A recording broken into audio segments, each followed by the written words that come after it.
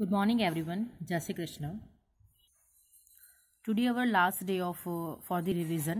Last day છે આપણે revision કરવા માટેનો નેક્સ્ટ વીકથી આપણું as it is chapter next chapter continue થશે okay so real time gross settlement RTGS કે આરટીજીએસ જે છે એ જે who having the bank account holder sorry bank account and જે બેંક કે મેમ્બરશીપ હોય આરટીજીએસની એ મની ટ્રાન્સફર કરી શકે છે ટ્રાન્સફર મની માટે, બરાબર?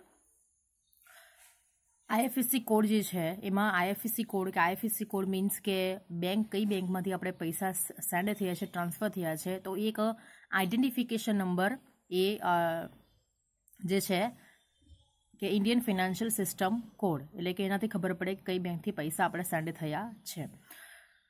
ID IFSC code is provided IDRBT એટલે કે આ બેંક જે છે એટલે આ જે ઇન્સ્ટિટ્યૂટ જે છે, એ આઈએફએસસી કોડ એ બેંકને પ્રોવાઈડ કરે છે અને આઈએફએસ કોડ જે છે, એ ઇલેવન ડિજિટનો હોય છે.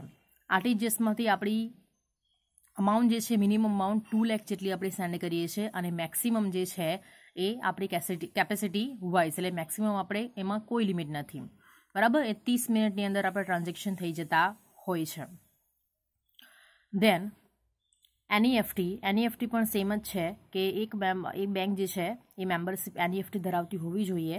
લાઈક આરટીજીએસ એવું જ છે આપણું ઓનલાઈન ટ્રાન્ઝેક્શન એમાં પણ આઈએફએસસી કોડ ઇલેવન ડિજિટનો જ હોય છે.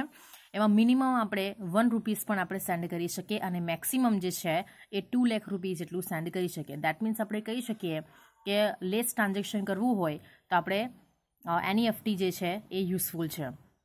રાઈટ એમાં ટેન ટ્રાન્ઝેક્શન કરી શકીએ છીએ એક બેચમાં અને જો એનઈએફટી બાય કેશ કરવું હોય કેશ કરવું હોય, તો ફિફ્ટી થાઉઝન્ડ જેટલું કેશ જે છે અવેલેબલ છે. ફિફ્ટી થાઉઝન્ડ ઓર લેસ બરાબર? કેશમાં અને એનઈએફટી જે છે ને ફેસિલિટીને એ વોક ઇન કસ્ટમર કહેવાય છે બિકોઝ કે જે સેન્ડ કરે છે એની પાસે એનઈએફટી નહીં હોય તો ચાલે બટ જે રિસીવર કરે છે, એની પાસે એનઈએફટી હોવું જરૂરી છે. તો એ વોક ઇન કસ્ટમર કહી શકાય છે. દેન સેકન્ડ ટોપિક આપણે જોઈએ core banking that means centralized online real time exchange કે real time as it is જે ટાઈમે રિયલ ટાઈમ એક્સ એક્સચેન્જ થયેલું હોય છે ટ્રાન્ઝેક્શન થયેલા છે, તો રિયલ ટાઈમ અંદર મેન્શન કરે. કે આ સિસ્ટમ જે છે, એ આખી વર્લ્ડ પૂરી કનેક્ટ થાય છે. કે સેન્ટ્રલાઇઝ સર્વરની હેલ્પિંગથી આપણે કોઈ બી બેંકમાં કે કોઈ બી એની બ્રાન્ચીસમાં આપણે જઈને આપણો અકાઉન્ટ નંબર ટાઈપ કરીને એટ અ રિયલ ટાઈમે આપણે કયા ટ્રાન્ઝેક્શન થયા છે એ we can see it centralize સર્વરની હેલ્પિંગથી રાઈટ એટલે આપણે ડિપોઝિટ પણ આપણે વિડ્રો કરવું હોય એની બ્રાન્ચીસમાં તો એ જ એ જ બેંકની એની બ્રાન્ચીસમાં કે આપણે કંઈ વર્લ્ડના કંઈ પણ એમ કે પ્લેસ પર બેઠા હોય તો બી આપણે આપણું જે છે એ ટ્રાન્ઝેક્શન આપણે જોઈ શકીએ છીએ. સો કહી શકાય કે અકાઉન્ટ હોલ્ડર જે છે become the customer of the bank not of a particular branch એટલે કે બેંકનો કસ્ટમર છે, એક પર્ટિક્યુલર બ્રાન્ચનો કસ્ટમર નથી. Then chapter number four communication e commerce and outsourcing એમાં આપણે જોયું પ્રોસેસ ઓફ કમ્યુનિકેશન તો ફર્સ્ટ સ્ટેજીસ ઓફ કમ્યુનિકેશન પ્રોસેસમાં ફર્સ્ટ ફોર્મેશન ઓફ મેસેજ એનું ફોર્મ્યુલેટ કરવાનું છે. That means selection of medium second point is selection of medium એટલે કયા સિલેક્શન વધારે ઇફેક્ટિવ કયું સિલેક્ટ આપણે મીડિયમ યુઝ કરીએ કે જેથી વધારે ઇમ્પેક્ટ એમ કે પડે રિસીવરમાં તો એટલે એ ટાઈપનું આપણે મીડિયમ જે છે સિલેક્ટ કરવાનું છે. Third one is to send the message fourth one is to accept the message કે રિસીવર આપણે સેન્ડ કરશું રિસીવર જે છે એ રિસીવ કરશે, એટલે દેટ મીન્સ કે accept the message then interpretation of the message કે જે વેમાં આપણે જે એમ કે ટોનમાં અને જે મિનિંગમાં આપણે મેસેજ સેન્ડ કર્યો છે, તો એ જ એનું ઇન્ટરપ્રિટેશન એ થવું જોઈએ. દેટ મીન્સ એનું ટ્રાન્ઝેક્શન સોરી એનું ટ્રાન્સલેશન જે છે ટ્રાન્સલેશન એ એ જ વેમાં થવું જોઈએ. Then after the six reply to the message reply જે છે, એ રિસીવર આપણને આપશે. First is formation of message second selection of the medium third one is to send the message then to accept the message interpretation of the message and reply to the message તો આપણું થયું stages process of the communication then types of the communication sorry type of the computer network તો two માર્ક્સમાં પૂછાય છે. LAN CAN MAN and વેન LAN જે છે એ લોકલ એરિયા નેટવર્ક કે એક પ્લેસથી એ અર્ધ સર્ટેન પ્લેસ પર વાયર ઓર વિધાઉટ વાયર આપણે કનેક્ટેડ થઈ શકે.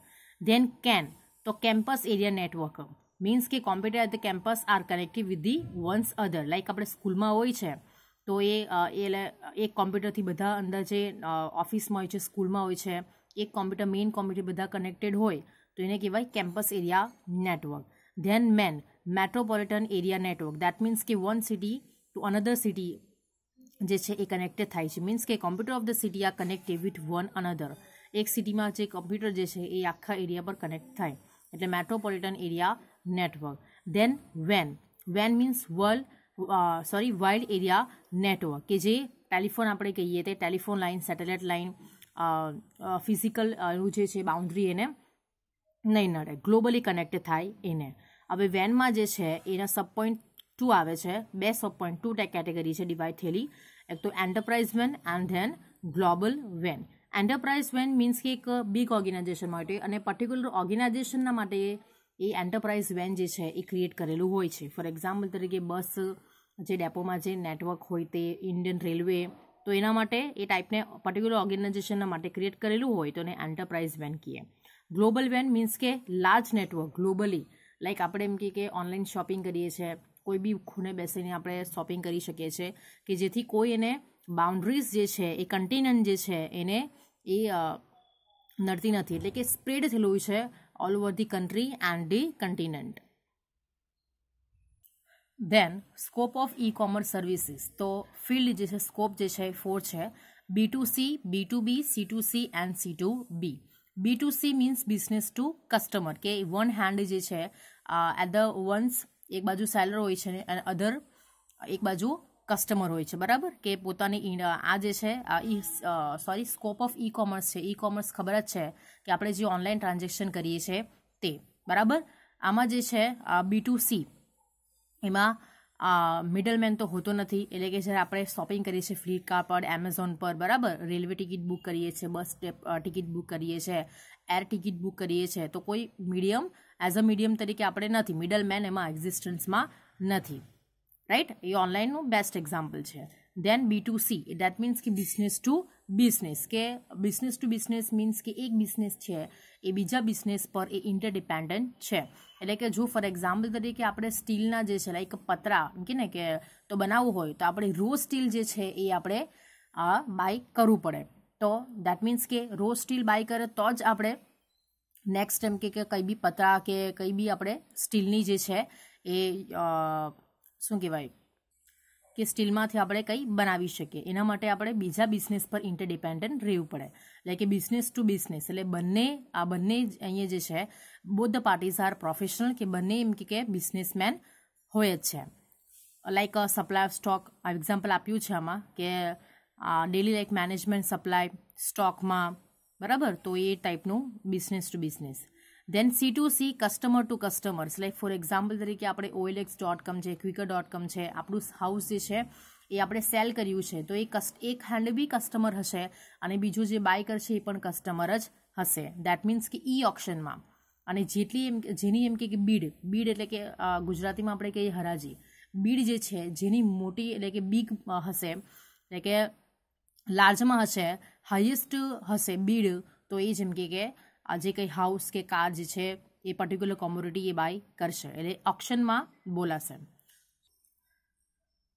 Then C to B customer to customer like for example તરીકે જે છે, એ ફિલ્મ મેકર કે લાઈક સોંગ કોઈ જે છે, એ લખવાવાળો કોઈ અલગ હોય અને જે એમ કે ગાય છે તે અલગ હોય. બરાબર? તો સોંગ જે છે એ શું કરે છે? સેલ કરે છે. લાઈક પર્ટિક્યુલર જેમ કે કે પોતાનો આઈડિયા જે છે, એ એમ કે ડિઝાઇન જે છે, એ સેલ કરે છે, તો એ થઈ ગયું કસ્ટમર ટુ બિઝનેસ અને કસ્ટમર જે છે, પોતાની પ્રાઇઝીસમાં એને સેલ કરી શકે છે. એટલું એ ઇન્ડિપેન્ડન્ટ છે પોતાને, કે પોતાની પ્રોડક્ટ જે છે, એ કરી શકે. પોતાની આઈડિયા જે છે, એ કોઈ બિઝનેસમેનને આપી શકે. એટલે આપણે કહી શકીએ customer to business then outsourcing outsourcing means કે when when work or or uh, handed over a other group by the business group as per the contract for a pres uh, prescribed time it's called a outsourcing outsourcing means કે for particular miscellaneous work જે છે કે સમ એમ કે minor work જે છે એ કોઈ professional ગ્રુપને ક્યાં તો કોઈ એમ કે પર્સન્સને કે ઇનસાઇડ ધી કંપની ક્યાં તો આઉટસાઇડ ધી કંપની એને આપી શકે છે હેન્ડઓવર કરી શકે છે for the particular prescribe time કાં તો પાર્ટ ટાઈમ આપણે કહી શકીએ એ આપી શકે તો એને જે છે, એને આઉટસોર્સિંગ કહે. એટલે કે અમુક અમુક કંપનીનું કામ જે છે, એ કોઈ બહારથી કે કોઈ અંદર કંપનીના માણસથી કરાવી શકે, તો એને આઉટસોર્સિંગ કહેવાય. લાઈક મેં તને એક્ઝામ્પલ આપેલું તમને કે ડેટા એન્ટ્રી જે છે કોલ સેન્ટરમાં જે વર્ક્સ કરે છે, એ અમુક જ એમ કે આવર્સનું વર્ક હોય છે, તો એ રીતના એ આઉટસોર્સિંગ કરાવી શકે. અને આઉટસોર્સિંગનું મેઇન બેનિફિટ એ છે કે જે મેઇન એમ કે આપણે ફોકસ કરવાનું છે કસ્ટમરને એમ કે અટેન્શન આપવાનું છે, તો એમાં આપણે થઈ શકે. અહીંયાથી આપણું આ ચેપ્ટર જે છે રિવિઝન ફોર્થ ચેપ્ટર કમ્પ્લીટ થાય છે રિવિઝન કમ્પ્લીટ થાય છે. નેક્સ્ટ આપણે વીકથી ન્યૂ ચેપ્ટર આપણે સ્ટાર્ટ કરવાનું છે ચેપ્ટર નંબર ફિફ્થ ઓકે તો બધા વીડિયો જે છે એ હવે જોજો. Thank you